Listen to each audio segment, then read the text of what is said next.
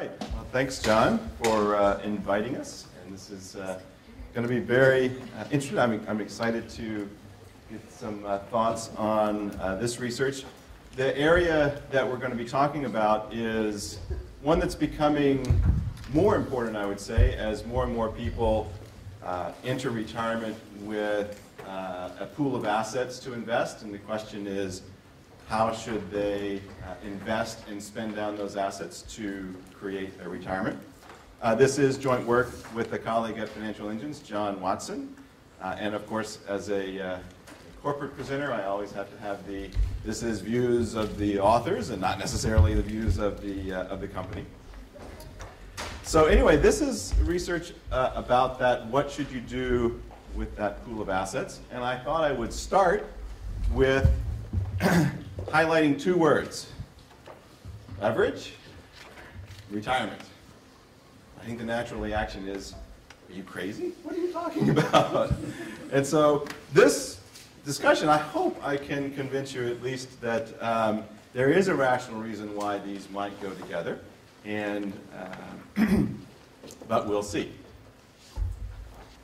The beginning of the story is uh, trying to discover what is the right set of preferences to assume for a retiree. And I think this is probably the best way to approach most of these uh, consumer decision uh, problems.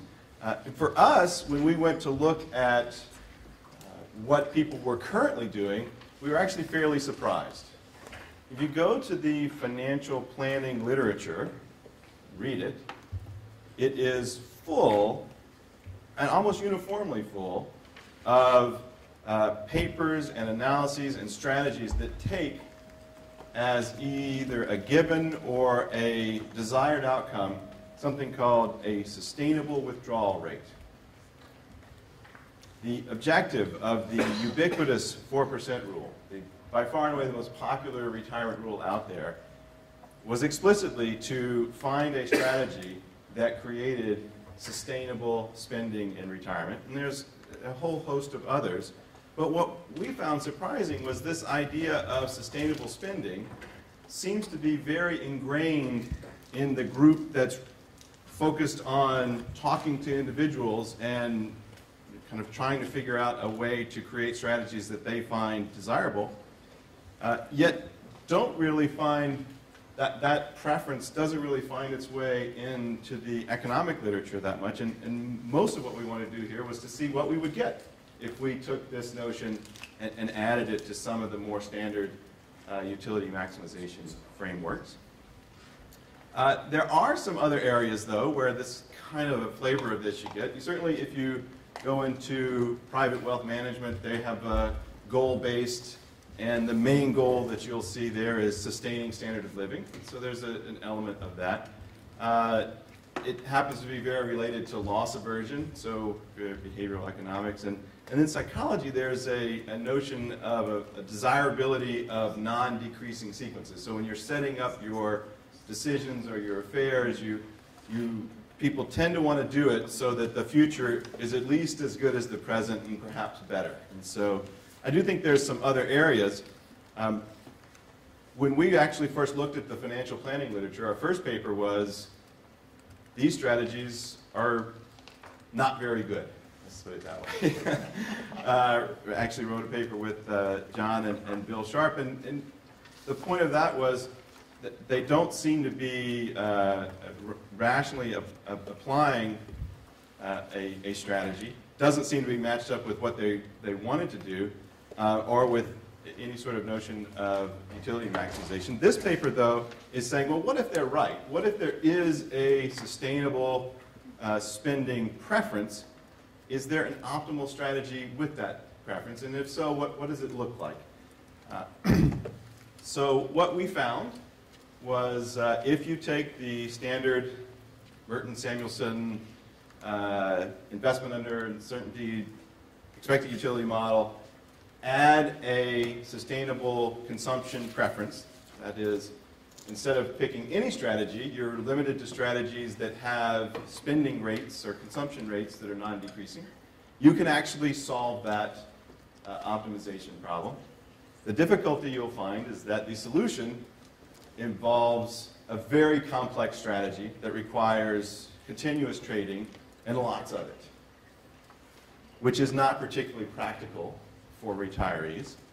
Um, but with a little work, you'll also find that there's something that's approximately uh, the same strategy, approximately in terms of, of the utility context.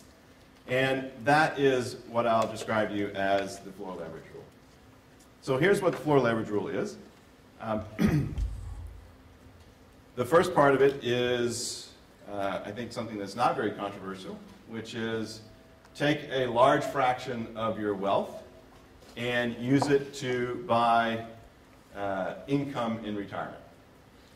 And that could be, uh, depending on your preferences, uh, mostly what do you think of as what you're trying to sustain. You could, that could be a real floor, uh, and you would likely use some sort of uh, TIPS or TIPS strips or that kind of thing. It could be a nominal floor where you're using uh, treasury zeros. Uh, depending on your preferences for annuities and the like, you could use annuities as part of the creation of this floor. Uh, that would actually lower the cost of creating the floor, which uh, makes your 85% buy more in terms of spending. But the vast majority of your money is invested in uh, a asset or an investment that's creating an income floor. The second part of it is take the surplus 15% and invest it in a 3x leveraged daily rebalanced equity. I think this is the more controversial part of the strategy. Uh, there are a, a, number of investment options that provide this.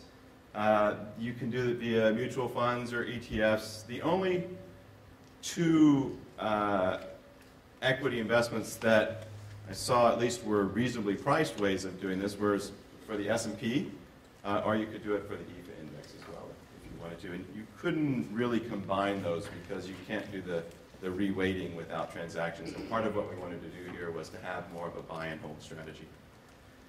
The final part of the rule, which makes it kind of complete and tells you what to do uh, through time, is annually you review this portfolio. And if your uh, surplus, which is this uh, equity investment, happens to be more than 15% of the value of your total portfolio, you take any amount, uh, any excess, and buy more income. And so the way it sort of works is as you go through time, if you have good equity returns, your income ratchets up. If you don't, your income stays flat uh, based on the, the income floor. That's the, the rule. What I wanted to spend a bit of time on is, um, well, so, sorry, the, uh, the efficiency was fairly surprising. So this kind of, uh, in terms of how does it compare to optimal, there's a very, some various scenarios and cases that we look at. But by and large, it's somewhere between 98 and 99% of the utility you would get from the optimal strategy, you get from, not percent of utility, it's a sufficiency index where um, the, the way to think of it is if you had, a, say, a $100,000 invested in this strategy creating you know, uh, consumption outcomes, you could get the same level of utility with the optimal strategy with only 98,000 or 99,000. And so uh, in that sense, uh, there's not a lot to be gained from moving from this to, to optimal. The intuition for why you get this strategy when you add this sustainability preference, um, I think the best way to start thinking about the intuition is to think about what is your uh, investment reaction to a loss experienced in the stock market. And there are really just three things you can do if you lose money in the stock market. One is you can buy more stock. And this is actually what you do if you're trying to maintain a constant risk portfolio. So if you were 50-50 stocks and your stocks decline, you sell bonds, you buy stocks. Constant risk. The other thing you can do is you can do nothing. Buy and hold. Um, the final thing you can do is you can sell stock. So the stocks go down and you uh, decide that you want to sell stocks and buy bonds. An example of that type of strategy is um, constant proportion portfolio insurance, something people may or may not be familiar with. Um, but the, the way to think about this person in this uh, utility setting is what happens when their wealth declines is they actually get closer to their being able to being able to not support their floor. So the floor becomes more at risk the, the less wealth you have, and so they become more conservative, or they, they want to change their investments in order to uh, eliminate or lower the possibility that they um, have to go back on their sustainable spending. And so this is the type of strategy, if, you, if stocks decline, I want to actually get more conservative. And the reason here is that concern for sustaining spending leads to a lower risk preference as your wealth declines. And that's kind of the intuition. It actually works in reverse. If you've had this happen and you've kind of gotten worried about the stock market and gotten out, if the stock market goes back up, you do the reverse. You kind of are now further away from your sustainable spending floor and you're now willing to um, invest more or you have a, a higher tolerance for risk. Uh, once you get to a certain distance away from your floor and it becomes uh, clear that you are able to maintain it, then additional gains actually, that's where you get the surplus, and then you start, that this person often kind of rat, ratchets up their consumption, and, and the whole game starts again. Let me talk to you a few minutes about constant proportion portfolio insurance. I want to illustrate that and point out the challenges with actually doing this type of strategy. Um, some of the challenges are, are well known. One of the uh, things I want to convince you of, I think, is that it's, it's changed in the past few years. This time is different. Um, so here we go. We have a person, and, and I'm starting them off with a 55-45. So they have 100 bucks. They have $55 in bonds, $45 in stocks. I'm choosing $45 because it's a multiple of three, and it actually relates to the floor leverage rule better. So, uh, but it is a little bit of an odd case. Now, what happens if stocks decline by five bucks. So in this constant proportion portfolio insurance strategy, uh, you want to become more conservative. You've, you've lost wealth. And you sell $10 in stocks and you buy $10 in bonds. And your ending strategy is 65-30. And it's called 3X because you can see the impact on your stock portfolio went from 45 to 30 that's three times the magnitude of the, the loss in the stock portfolio, which was only $5. So the change in your stock portfolio is 15, the loss in the stock portfolio is 5. So that's, that's the uh, sort of starting and ending portfolio in a reaction to a, five, a loss of $5, which is about 10 or 11% of the portfolio, of the um, stock portfolio. Now, if the stock market were to continue to decline, and now you're starting with the 65-30 portfolio, but you lose another $5, so what's that, a sixth, 17% drop in the stock market. Again, you would sell $10 in stocks, buy $10 in bonds, and your resulting portfolio for now you have $80 or $90, it's 75.15. So you're kind of ratcheting down the risk. You can do it another time if the market drops a third, uh, you would actually be out of the market.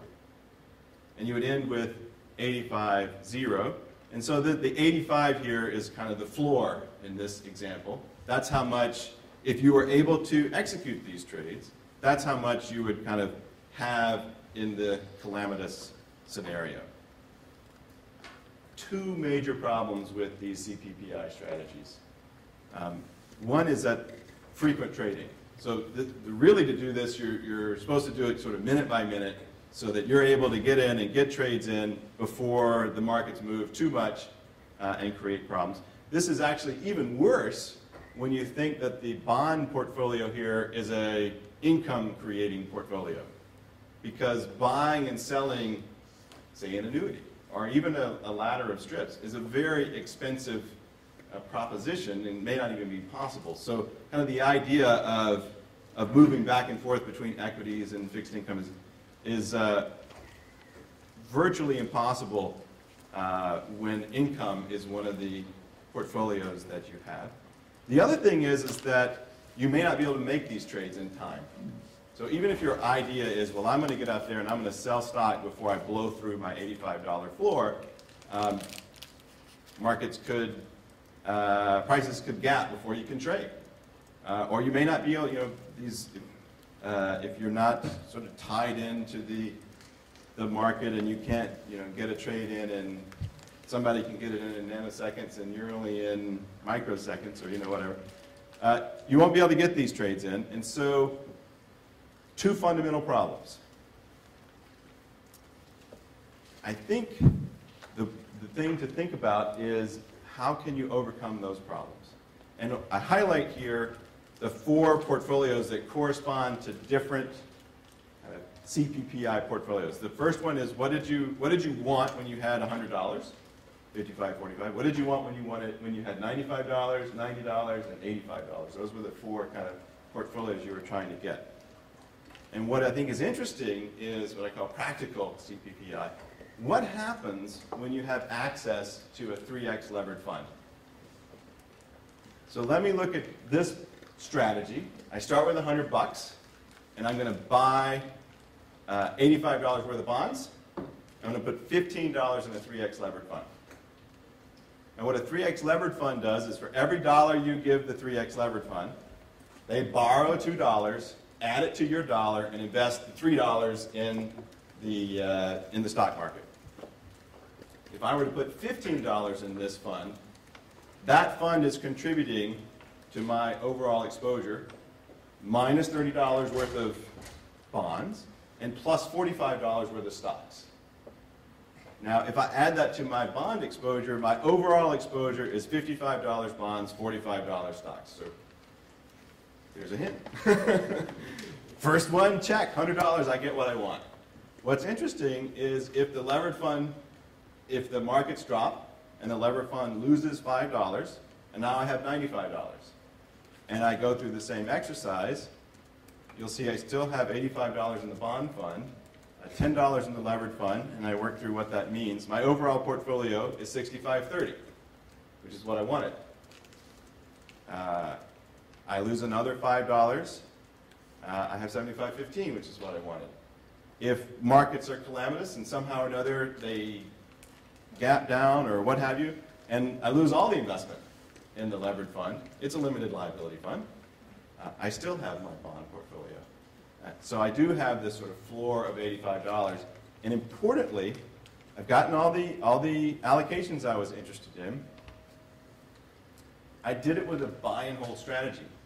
And I really need, I think, a buy and hold strategy, especially on the fixed income side or on the income producing side. So I could use that $85 to actually buy an annuity or buy a ladder of, of uh, income producing instruments or something like that. And I don't have to worry about going in and out of that in order to implement this strategy. Uh, moreover, I have uh, limited liability because I'm using a third party to do the, um, to do the This graph is an illustration of what happens if you were to have uh, received the returns that the S&P 500 generated over different time periods. So what would the um, what would the spending pattern have been if you were to have been, say, lucky enough to retire in 1950 and experience those sets of returns? Um, and, and I wanted to illustrate two things with this. One is that the spread is pretty wide. Uh, even though only 15% of your portfolio is invested and at risk in the stock market, the outcomes can be pretty large, uh, large and differential. So the way to read this is the, the 1950 person, you're starting at about um, a little over 4%. So if you had a, a million dollars, this would be $40,000 in income, rough 42,000 or so to start. Uh, by, the, by the time they're 85, their uh, annual income is over 120,000. The other characteristic that seems to be typical is the, these uh, 3x returns are pretty volatile.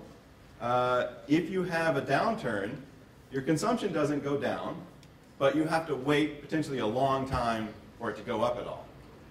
And so you'll see that. So in the uh, in the uh, the 1960 person sort of ratchets up a little bit, uh, and then in the early 1970s there was a drop in the in the stock market, and it's flat from from there forward.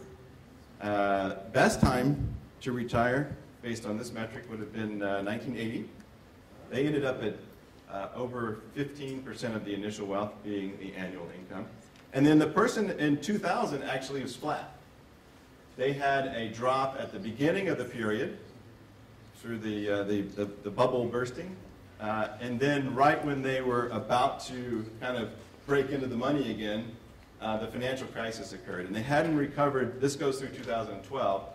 They were, their, their surplus uh, was, I think it was uh, 60 or 70% of the, the max by the time 2012 rolled around. So perhaps they would get a raise in 2013. It'd be a near thing based on current returns. But that's what it looks like. Uh, so the, the, still a big spread, a surprising spread to me given the fairly small percentage of your portfolio that's, that's allocated to equities. But this property of uh, the impact of a loss in the stock market is not a drop in consumption, kind of by design, but it could be a fairly long period of time at level consumption. If you look at the ending kind of where you are at age 85, I did that by year. And, um, all right, almost done. Uh, this is what it looks like if you, and then, uh, so the 1950, 1960, 70, 80, 90 are, are, replicated from the earlier slide. This is kind of what does it look like at the end of this 20-year period, even though you have uh, years to go. Um, and you'll see that the returns, there's a lot of overlapping periods, so they're, they're um, correlated with the perform performance of the years around them. But you can see a pretty wide spread between, say, 6% and 15%. Um, so that it, it really is, you are, um, you both have a pretty substantial floor, but you are exposed to the markets, and depending on what the markets do, you will have uh, substantially higher or, uh, um, or lower spending. Let me conclude with, so what, what role did leverage play? So the start of the story is we, have we it seems like there's a group that have a preference for sustainable spending. That comes into the story by saying, well, when their wealth declines, they start having a concern that they won't be able to maintain their lifestyle. That creates a lower risk tolerance. Leverage here is not used to try to increase your equity exposure beyond 100% or try to, try to get riskier than you could otherwise get sort of with normal investments. Leverage is used to quickly lower your risk profile when markets decline, facilitate this buy and hold strategy, uh, and allow the purchase of a floor guarantee that may not be, um, you may not be able to get in and out of. In this sense, I think leverage helps manage risk and is not really being used to take excessive risk. And because it's a, a room full of economists, uh, I wanted to, to end with some speculation. Uh, if this is reflective of a reasonable, uh, preferences for a reasonable number of people out there, then um, this, this research really, I mean, people don't have to sort of formally adopt this strategy. If they feel this way when they experience uh, wealth declines due to stock markets, they would still have this sort of behavior like, I need to get out of the market and have um, this kind of, of uh, response. And the issue could be in asset prices. If everybody, there's a, a downward shock, everybody decides they're concerned about sustaining their standard of living, and they all want to become more conservative at once, all of a sudden society's sort of average risk tolerance has dropped a lot, and asset prices could fall dramatically. Similarly, as they go up, average risk tolerances can go up pretty fast, and so you can you could imagine in a in a more uh, equilibrium type world, this type of model would suggest asset prices that swing wildly not because of any inefficiency per se, but just because the average risk tolerance in the marketplace swings wildly between these, uh, these kind of extremes. With that, to the discussion.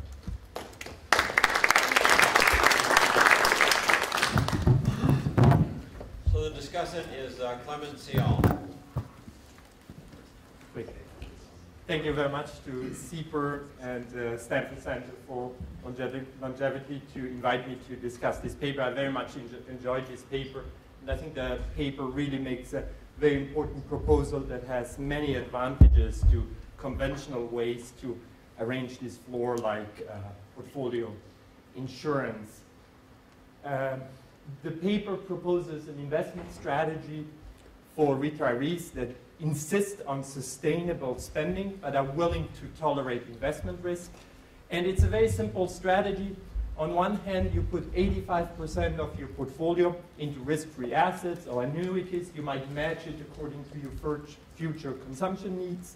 And then a small portion of the portfolio, 15%, goes, for example, into triple levered equity securities. And an important part here is that those have limited liability, as was mentioned before.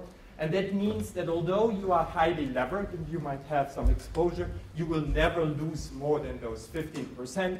And that guarantees that 85% of your portfolio uh, remains intact. And that's a big advantage of getting those separate exchange traded funds, for example, to implement it instead of trying to do it dynamically. Because if markets move fast and they crash, for example, you wouldn't have an opportunity to trade dynamically.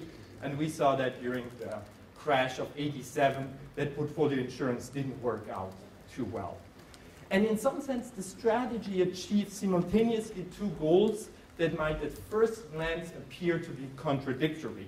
On one hand, you guarantee a minimum real spending level at retirement, but then as well, you get quite a bit of exposure to equity securities. And at first glance, that might appear contradictory, but this is a strategy that can help you to achieve both of those goals. Now, my discussion will uh, review the results. It will look at the distribution of spending levels, and it will as well compare it with a more conventional Merton Samuelson type approach to see what are the advantages or what are the costs of getting this guarantee. Just to describe the initial asset composition, you start out with 15% of a triple levered ETF and 85% in bonds.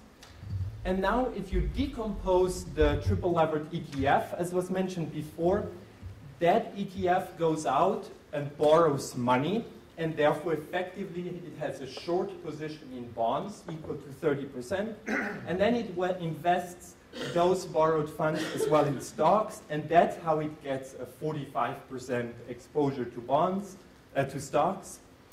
And overall, if you look at the bond exposure, that is actually reduced because on one hand, the investor owns 85% in those bonds, but then the ETF itself borrows money, and that's equal to a short position of bonds of 30%, and if you net out this long position of the investor and the short position of the ETF, you end up with a net bond position of 55%.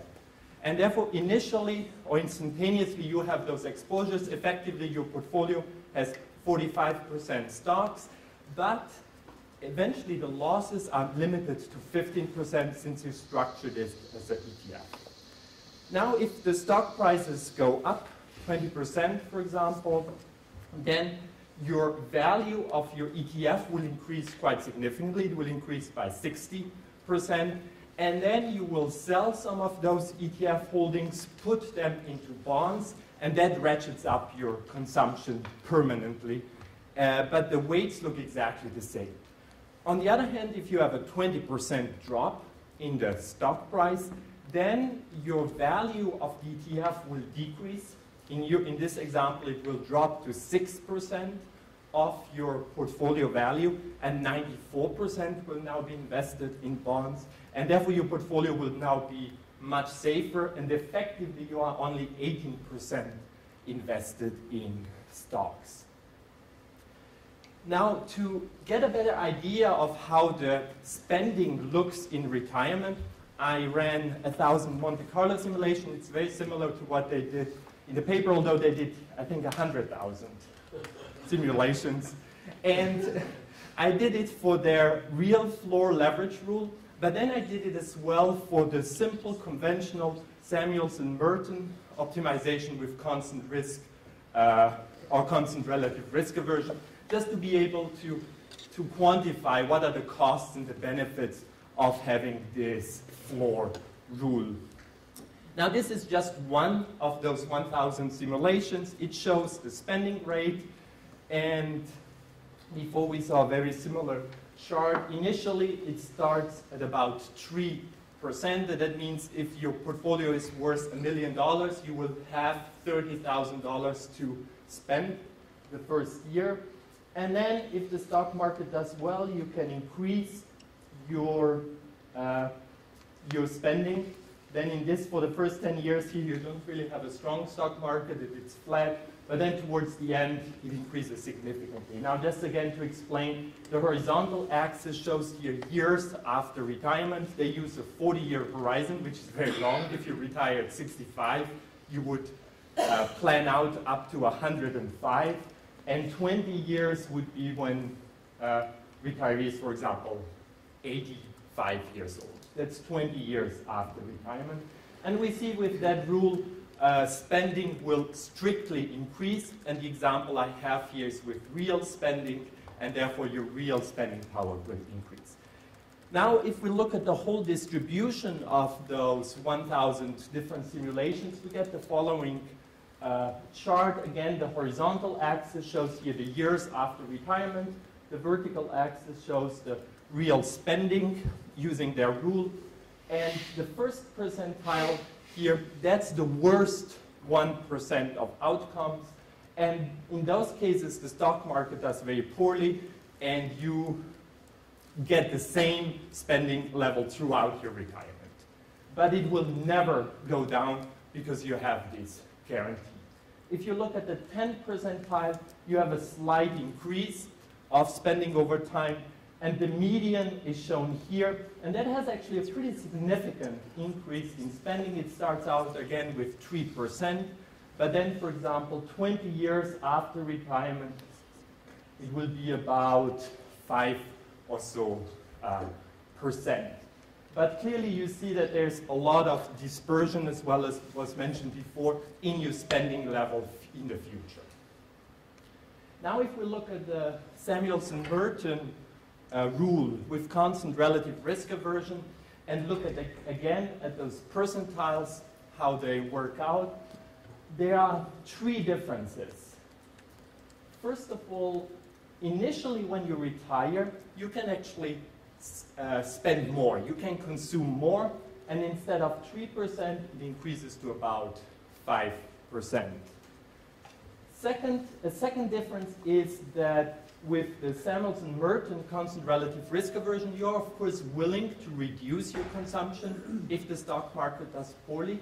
And the first percentile you see can be actually quite low. For example, after 30 years, when you're 95, it is about 2%. And therefore, your spending, your real spending power would have declined quite uh, significantly. And here, the dotted line that just shows the minimum payment of the floor from their paper, and that is pretty similar in the long term to the 10 percentile. Now if we put them side by side, we see again the three differences. Uh, and Merton have more consumption early in retirement. They have the risk that your consumption, your real spending, might decline quite significantly if the stock market does poorly.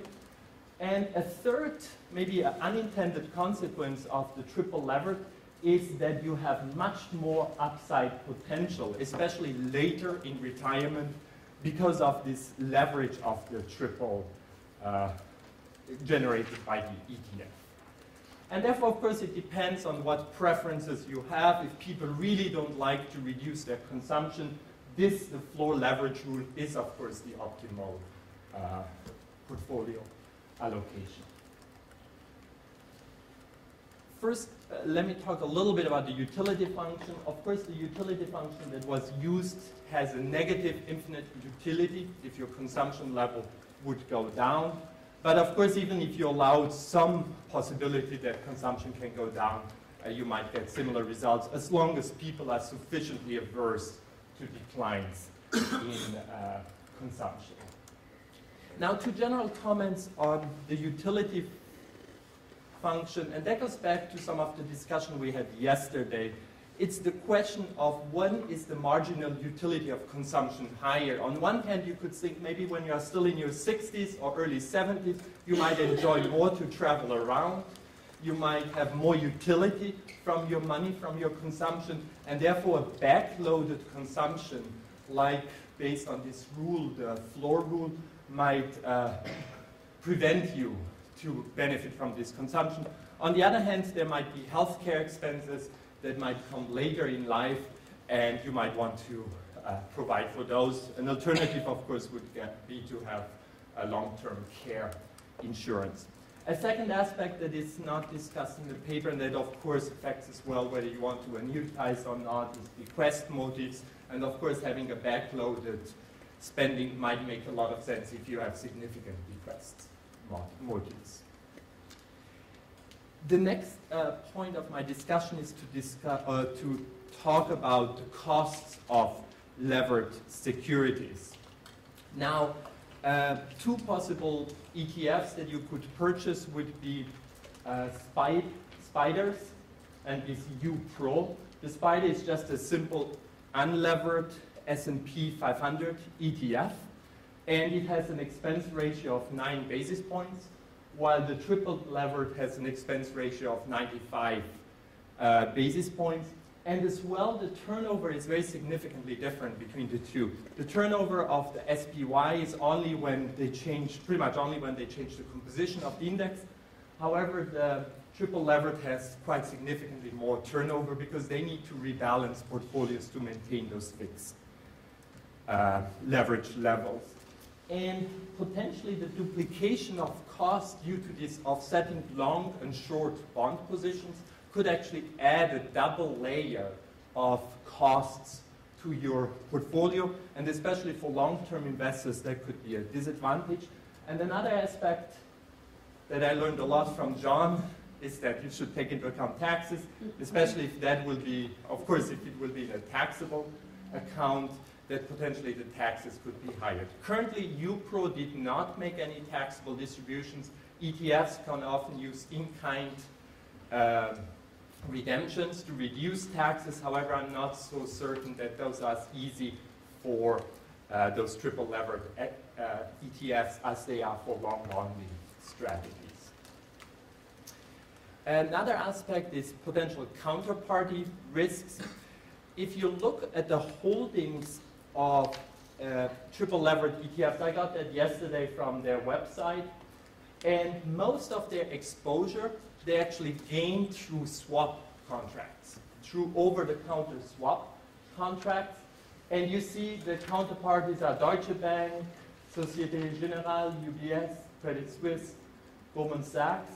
And then they have as well here the 500 stocks in the S&P 500, but those account for actually a small fraction of the exposure. Most of the exposure that they have is through those swap contracts, and there might potentially be counterparty risks. If Lehman Brothers, at that time it didn't exist yet, but if they had been a counterparty, it could have been problematic. However, you have as well to take into account that those counterparties would be troubled when uh, the stock market goes up, and usually those are not time periods where investment banks would go out of business. And therefore that might mitigate the problem for this long levered ETF, might be more severe for the short levered ETFs that counterparty risk could potentially be an issue here, especially for long-term investors. Two final points.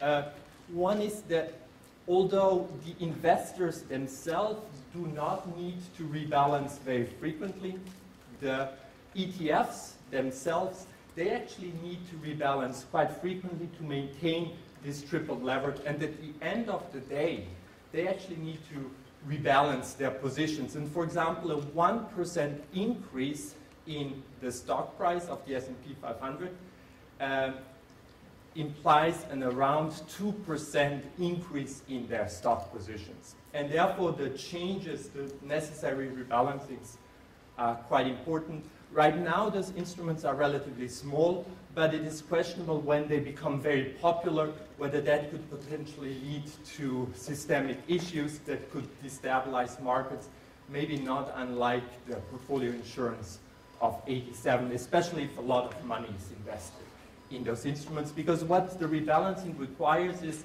after an up day, you need to go out and buy additional shares, and after a down day, you need to go out and sell additional shares.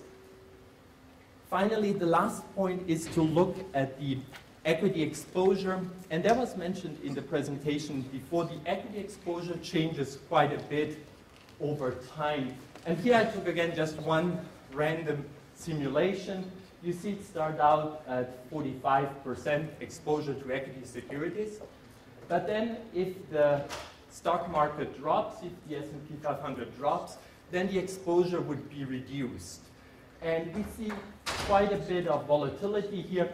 And at the end, this is one case where the value drops more than 33% and it goes to zero, and zero is an absorbing state in this example. But more generally, we see pretty significant changes in the weights invested in stock securities.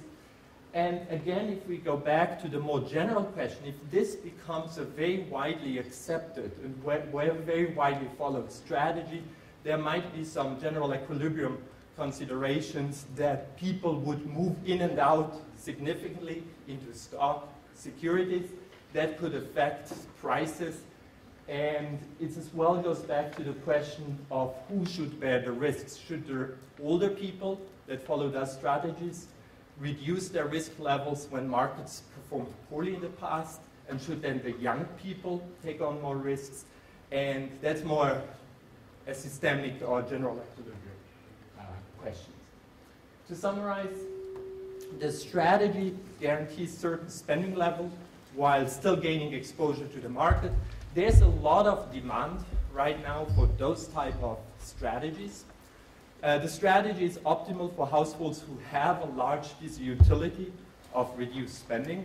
And for those households, it's a very important uh, strategy. But the strategy is potentially costly because ETFs might have higher embedded trading costs and expenses and potentially it might as well lead to systemic problems if this strategy becomes very widely used and very widely accepted. Thank you.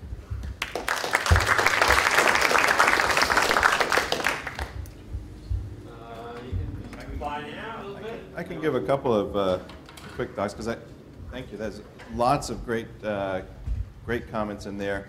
Um, some things that, that came to mind as you were uh, going through the discussion.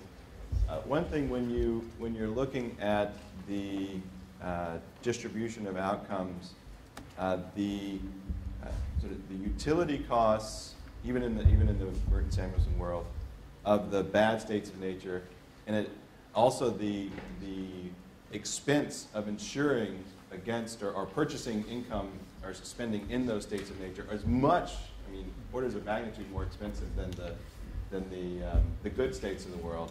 And so I, think it's important when you're, when you're showing a distribution to kind of have the prices of those states. And so even though you're maybe only buying you know, up to the 10th or 20th or whatever percentile, the, those, are, those are pretty valuable states to have uh, income in, and um, both from a utility and a, and a difficulty of buying. Uh, the expenses, it's definitely more expensive to use these 3x leverage. It, it's, if that's the strategy you want, it's, it's way less expensive to use a third party to do it than to do it yourself.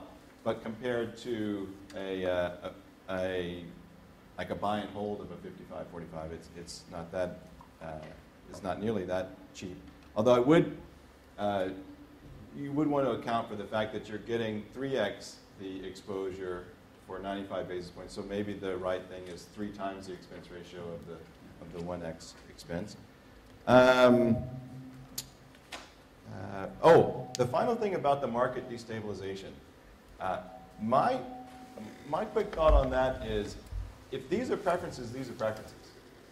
these are going to drive the, the general behavior of people in the marketplace, whether or not they adopt this uh, strategy, you know, formally with a third party or, or with an advisor or anything like that. If people view market events that cost, that lower their portfolio value as a, a call to become more conservative because they just can't handle the fact that their, their lifestyle's at risk, that happens irrespective of whether or not you know, people go through the formality of adopting the strategy. That kind of is their strategy. They just kind of formalized it. Um, so I think we have to figure out whether that's the case and then how to deal with it. Um, maybe it's kind of a don't shoot the messenger. You know, if this is preferences, this is preferences. But I, that, I'll stop there. And there's, hopefully there's some questions. Okay, questions? Uh, Mike Hurd? Uh, Two, two comments. Uh, One thing that was not mentioned here is expectations. Uh, Bob Willis has done some work on this, and we've done quite a bit of work on asking people about their expectations at high frequency. And it's pretty clear that at the median, people are momentum in expectations, pretty strongly in in momentum. Yeah. Uh, People are uh, strongly momentum on, on average, maybe about uh, 25% are mean reversion types, but the other 75% are momentum types. And so that's another reason that you get destabilization. Uh, secondly, the, when I look at your floor leverage rules, I see these really high consumption levels at advanced old age, and I wonder what these people are going to be buying. If you look in the CEX, you look at budget shares at old age, it's pretty clear that people's pre- preferences for spending change. A lot of the things they're spending at a, on age, a- at age 65, they're not spending on at age 85, and a whole range of things. Private transportation, for example, 6% rather than 20%.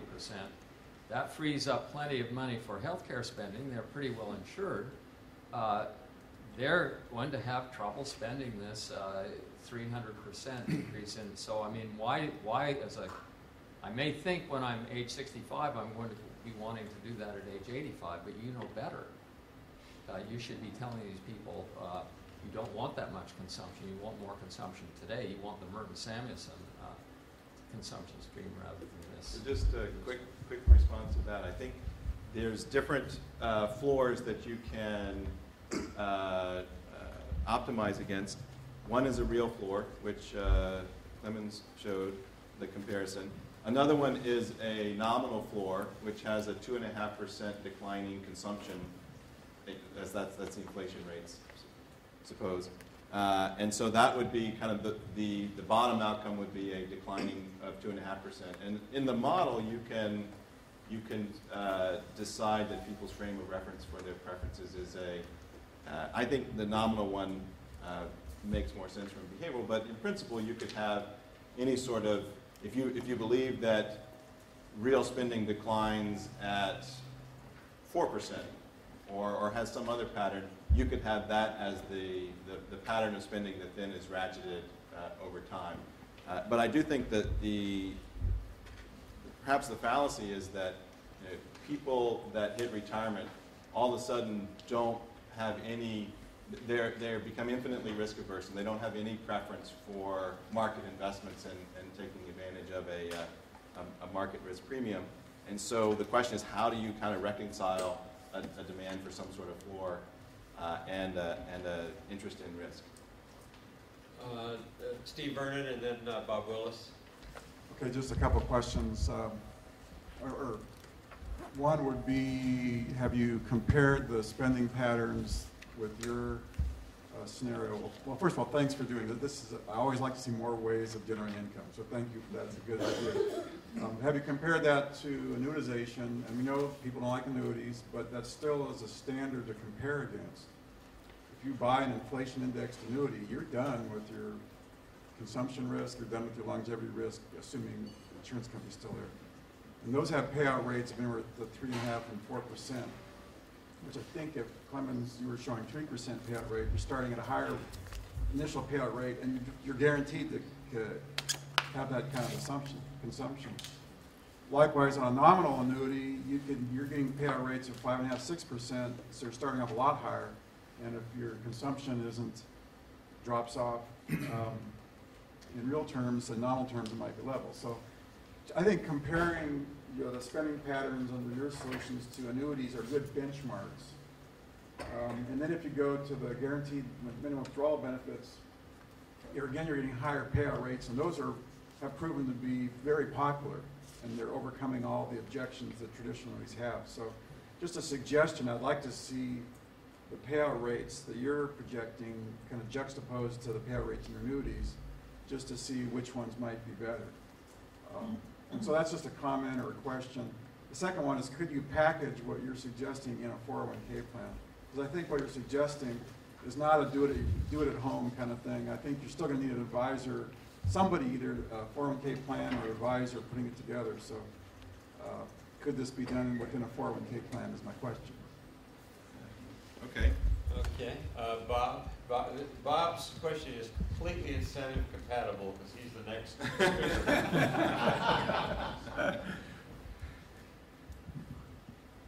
Do I have time to turn on the mic?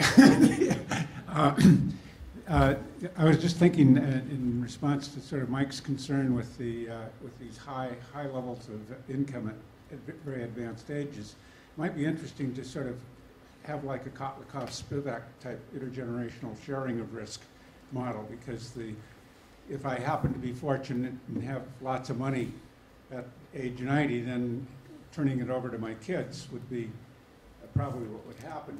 And, uh, and, uh, and that might uh, make it seem to me less wasteful to have that kind of money at, a- at this very advanced age. Quick, um, response to Steve. I think if you find someone that's willing to annuitize, the difference is you're taking, you're spending fifteen percent less of your wealth on an annuity. So kind of the, the, the comparison out of the gate would be this would start out fifteen percent lower because you're buying an annuity with eighty-five percent instead of hundred percent. And then you, you know, kind of the, the, the scaling from that point forward is, is pretty similar. Um, I don't think there's any way this could be packaged in a four oh one K plan because uh, levered assets are just, I mean, you could do it in an IRA, but probably not a four oh one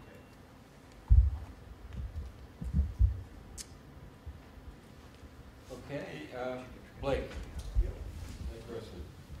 It's certainly a yeah, very interesting strategy. Uh, Thank you for writing it up. And I'm, I'm curious, I know as you point out, one of the challenges is just the limitation on implementation vehicles that provide leverage. If you played around with it using a 2x uh, levered ETFs, of course, there are more of those and potentially become proportionally more efficient. Right. Uh, we did. We looked at the, uh, well, in, in, in in a limited sense, we looked at the, in the paper, we report the efficiency loss of a, person that adopts the floor leverage rule with three X leverage, and it, like I said, is a one or two percent. Uh, two X leverage, uh, you know, using the surplus with two X leverage as opposed to three. Uh, I forget the numbers, of maybe four or five percent, and then one X leverage and then zero leverage. Like suppose they really did, they have these preferences, but they, they use all of their money for uh, fixed income or, or, or zero risk. And that was an inefficiency that could be upward of twenty percent. So there's a, there's an efficiency assessment, but that's about it in, in the, in the research so far. That's dependent on your risk aversion estimate. That's right, I mean, it- absolutely. I mean, Yeah, this is had a, this is if- a. If you had a lower risk aversion, then that would give you a two X and it'd be efficient, wouldn't it? Uh, It, it could be. The, the, the, the starting point that we used was a, a market average uh, risk, risk tolerance. If you go, if you lower the risk tolerance, there's two competing factors. One is you want to spend more, so you kind of want the floor to be as high as possible. Um, and it's, it's not really clear whether you would use a 2x and leave it at 8515, or whether you would use a 3x and go to you know, 9010 as a But it just seems to me that you assume that somebody who absent this strategy would have something like a 45% stock. Right. And then you impose your floor requirement, and they still have that risk aversion, so you get they, they generate an implicit 45% stock, at least at the outset. Right. And I would just assume that if their risk tolerance was such that they would otherwise have a 20% stock, but they had a floor requirement, then you'd probably get a 2x. Wouldn't Yeah. guess that. Am No, I you- something? not necessarily, because, I'm missing something. okay, so the, the, the difference would be, if I had a lower risk tolerance, I could do that by lowering the leverage factor and taking my, say it's, say it's thirty percent. So instead of forty-five, it's thirty. I could do that by changing my leverage from three to two. The other way I could do it is I can raise my floor from eighty-five to ninety percent and keep my leverage at three. And I'm just saying that sitting here, I don't know which of those is better. My guess is the latter is better. I guess my intuition is failing because of this strange juxtaposition of a regular utility function and a sort That's of right, slightly so- arbitrary floor assumption. Yeah, well, it, it's picked by the person. They, No, they can change it, but yeah, and it, it has these, uh, it dramatically changes your, your, uh, response to, uh, evolving wealth levels. And you really, I mean, I would wanna, uh, evaluate it before saying one way or the other. Okay, I think we're gonna call it. Thank you. Let's go back.